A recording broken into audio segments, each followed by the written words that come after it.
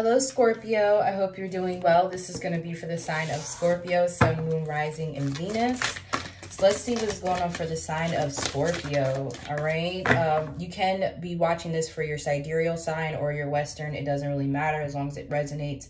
However, I am a 13 sign astrologer. So if you would like to get your chart read by me, you can check out the link in the description box. I also have uh, products down there as well. If you guys want to check out the website, I've added a bunch of new stuff. So if you haven't been to my store in a while, you might want to check it out. And I also do personal tarot readings too. So all that good stuff is down in the description box. You guys can find it. All right.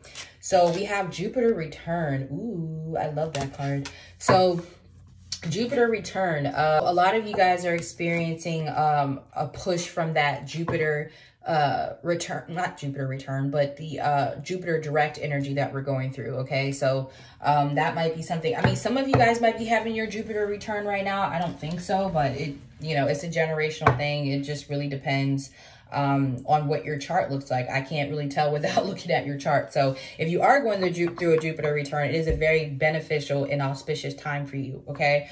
Um especially those who have like uh your sun um your sun and your Jupiter are like really good aspects or something like that, right?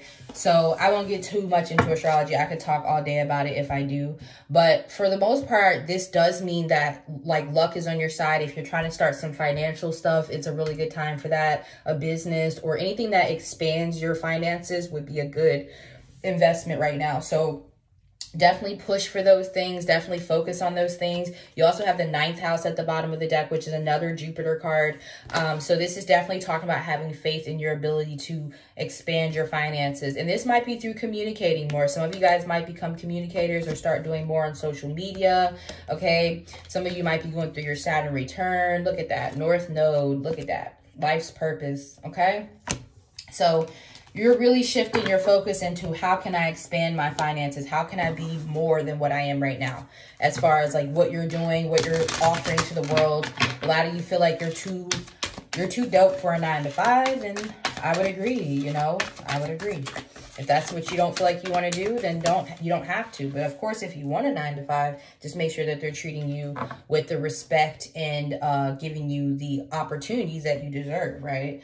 So we have the Four of Pentacles. Okay, so a lot of you guys have been in a place financially that you don't really like. It's not necessarily feeling like you don't have money, but you're not able to spend or move about the way that you would like to. We do have the Nine of Pentacles at the bottom of the deck. So again, if you're thinking about starting a business, I would do that. We have the Two of Cups. If you're holding on to a relationship right now, you might want to like give that space. Not saying you have to let it go, but you might want to give it space because it could be blocking your finances, especially if you have someone who is more not on the same page as you, okay? Like someone who may not want the same things. Yeah, I knew it. The hangman. There is a relationship around you guys that's keeping you stagnant. It's too confusing. We have the seven of cups. This could be a friendship uh, as well, but the Jupiter return, I don't know. This could be someone you're even married to or you think about getting married to, which is fine, but it's it's it needs to be put on pause right now because it's stopping your growth financially. All right, Jupiter wants to come in and offer you some really good things. For some of you, uh, maybe you're stuck on someone that you believe is going to be your spouse, but Spirit is like, if you would open up to the possibilities, you could meet someone who actually will marry you and be in a relationship with you um, because you're not clearing space for that person. You're so stuck on, okay, this is this person and it is what it is, okay? Uh, this person could be a Capricorn, a Cancer, a Pisces, or even a Leo for some of you, um, another Scorpio.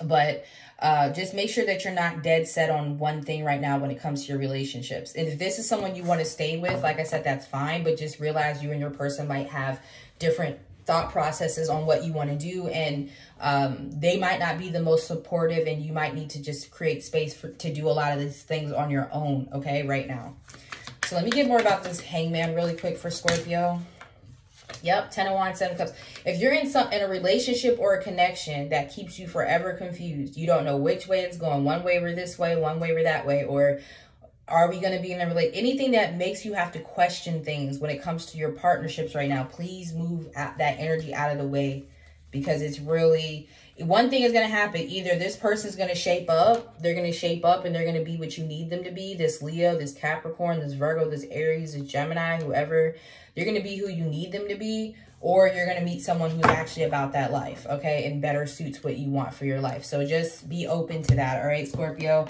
Um, if you are a sidereal Scorpio, that sounds crazy because you're very fixed, right? But you'll be all right. So let's see. What's going on for your love oracles? All right, your card that wanted to come out was Broken Chalice. Yeah, there might be someone that you're not even connected to right now, but there's like a, a longing for that person or when are they going to come back or when are we going to move forward? Prior obligation in reverse. And you fit into me like a hook into an eye. So it's like this person there may they may be using the excuse of another situation they're already they were already in before they met you or like they could be using their work as a reason why they can't pay attention to this relationship or be there for you the way they need to be. But honestly that's not a good reason. Prior obligation is in reverse so that's actually not a reason. Um so a lot of your cards already came out. We have the nine of cups for this person's thoughts so i feel like this person is someone who's kind of selfish I just don't believe what they're saying. Like they're saying, "Oh, I can't be with you because I have to stay in this relationship I've already been in and this this and that." But that's not true. Um I just feel like your person could leave that situation if they wanted to. You also have the Three of Swords. So this, again, tells me that you're probably not talking to this person. You probably realize that about them, Scorpio. Like, you probably realize that this person was just saying what they what they wanted to say to keep you around to basically get the benefits from you without having to put that work in okay? Um they could speak to you more often if they wanted to. They could take you out on dates. They could spend more time with you if they wanted to but yet they're they're saying that because they don't want to put the effort in. They don't they they like being lazy in this relationship. You have someone who's not pulling their weight. And i mean i think that they're aware of that with the nine of cups. They realize that you're something that they really do love, but they also um, maybe have taken advantage of. Like maybe this person realizes that they took advantage of you. And you have to look at that. Like if this person knows that they're taking advantage of you and they're not trying to do the work to fix it, I can see why you walked away or why you just told this person like, hey, I need space or you didn't. You just walked away. Whatever you did or whatever you will do when it comes to this person, it feels like it's justified, okay? Um, I don't think it's over with this person just because the Three of Swords is here. The Three of Swords to me is uh, more of a temporary separation. Okay, um, I do feel like you are dealing with somebody who has a little bit of an ego and someone who might be used to kind of getting what they want. I don't know why I'm just getting really big Leo energy off of this person or Gemini or something. Uh, so what we are going to do is go into the extended and we're going to see what's going to happen with this person.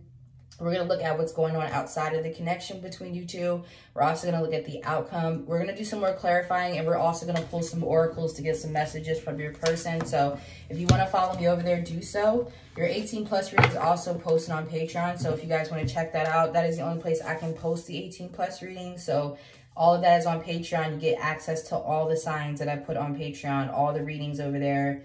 Um, and yeah, I'll see you guys in the extended. Thank you so much for your support, Scorpio. See you soon. Peace.